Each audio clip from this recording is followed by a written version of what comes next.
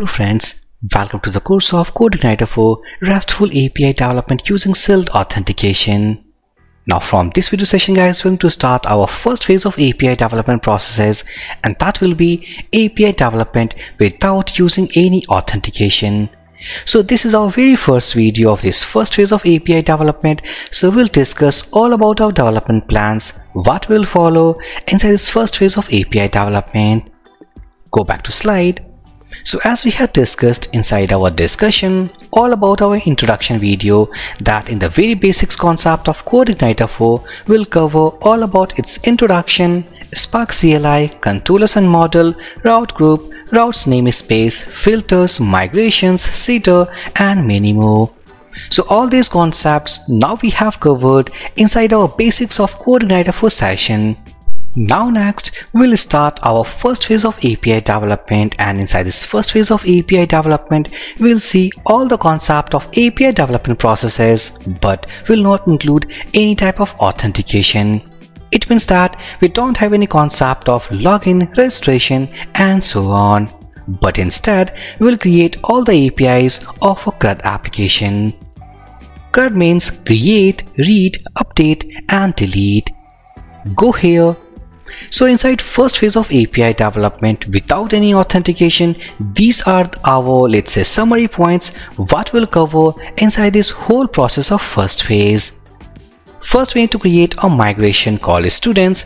By the help of that migration file, we'll create our first table and that will be a single only table for this first phase of API development and inside that table it contains the column as ID, name, email, phone and profile image. So this is overall the system what will create inside this first phase of students management system.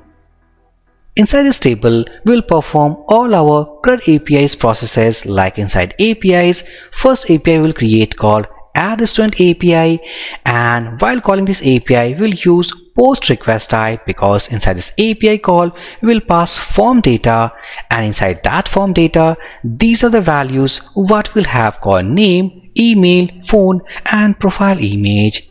So this is a syntax of API route that will be something has a API prefix. It means we'll use the concept of route group and inside that route group API is a prefix and this is a route called add hyphen student. So once we hit this add hyphen student, it will call a controller method and that controller method will receive some form data and by the help of form data in terms of all these values, then we'll create our students and save inside this students table. So after adding our students into this table, now next we'll have the API of list students API. By the help of that, we'll list all the students what we'll have inside this table. So to call this API, we'll use get request type and the route syntax will be something called API as a prefix and this is the route. So whenever we hit this route call list hyphen students, it will call a controllers method and that method will query our database table and list all the students. So suppose we are getting all the students but we are interested to actually get a single student information. So in that case, this API will be used called single student details API. So whenever we call this API using get request type, we'll pass a student ID into URL. After getting student ID into URL of the API method, then we'll fetch the single student information from table. Now next we have update student API. Na name itself clears that by using this update student API, we'll use put request type or batch request type and by the help of student ID and form data, we'll update the existing student's information. And finally, we'll have the concept of delete student API. We'll call using delete request method and once we pass this student ID into API URL, then the controllers method will delete that specific student from students table. So this is the overall structure or skeleton of API development processes what will follow inside this first phase of API development.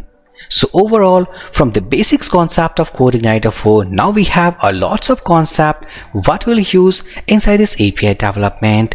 So first thing first, before developing all these APIs and its development processes, we need a fresh setup because inside last video we had seen all about the concept of basics for this folder structure but we want to create a new setup for our first phase of API development.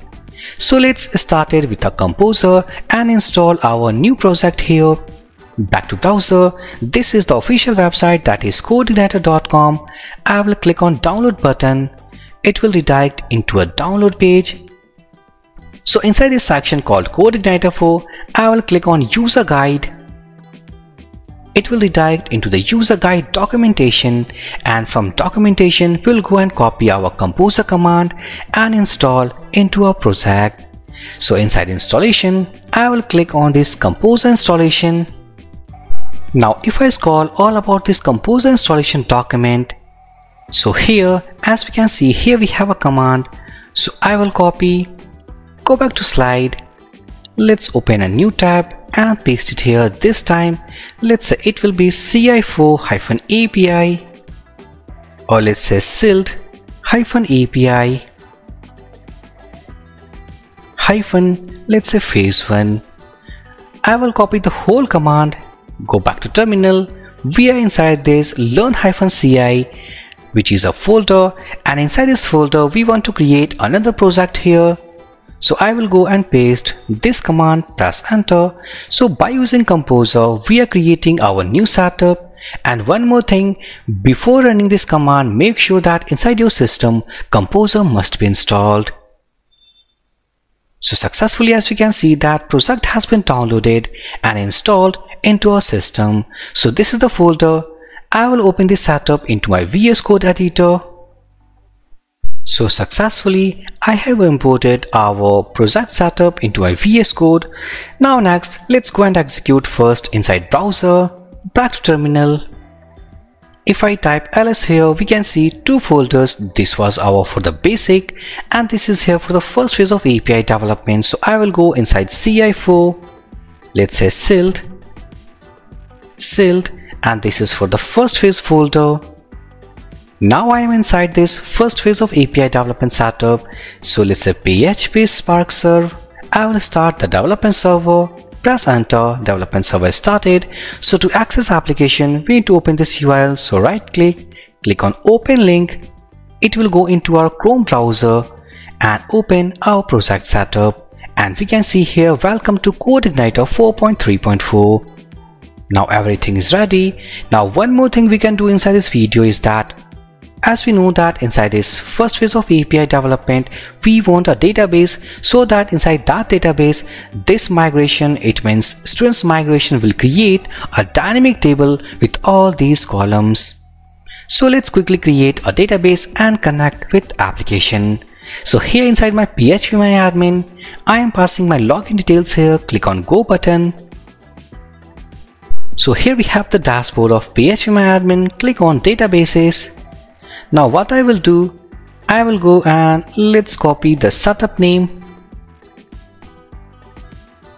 Go here, paste it here and I will create the DB name with the same name.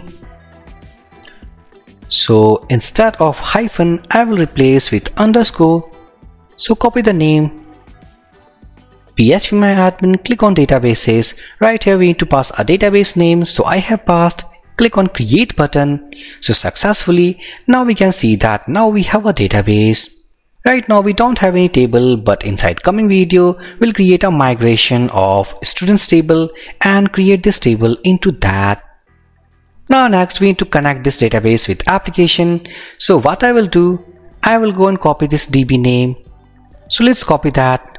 Go back to VS Code, open up env file, but make sure that this env should be renamed into from env to .env. Once you do that, all about the renaming of this file, go inside this file.